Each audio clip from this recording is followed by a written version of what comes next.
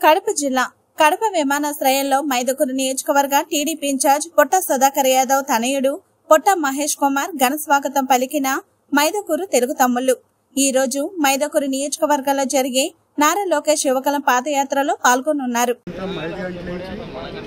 లోకేష్ పాదయాత్ర ఇవాళ నుంచి స్టార్ట్ అవుతుంది.